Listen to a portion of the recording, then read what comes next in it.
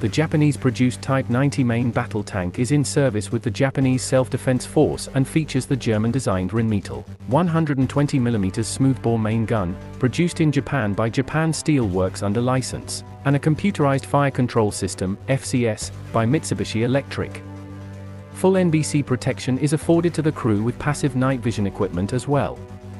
Production of the system spanned from 1989 to 2009 to which 341 examples were completed in all. The Type 90 MBT utilizes a conventional layout and arrangement with the engine in a rear compartment, the turret at center and the driver in the hull front. Unlike other Western MBTs, the Type 90 utilizes only a crew of three, as opposed to four, made up of the driver, commander, and gunner.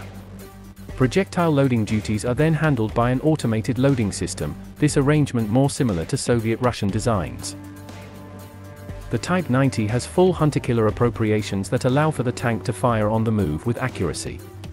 Beyond the 120mm main gun is a 7.62mm Type 74 coaxial machine gun, and a 12.7mm M2HB heavy machine gun for aircraft defense. Smoke grenade discharges allow the vehicle to disperse its own smoke screen to cover maneuvers, either offensive or defense in nature. Power is supplied from a Mitsubishi 10ZG 10-cylinder diesel-fueled engine developing 1,500 horsepower, at 2, 400 rpm. The Type 90 maintains a maximum road speed of 70 km/h with an operational range out to 350 km on internal fuel. Overall, the rather expensive Type 90 MBT is generally viewed as on par with other main battle tanks of this class 50-ton class.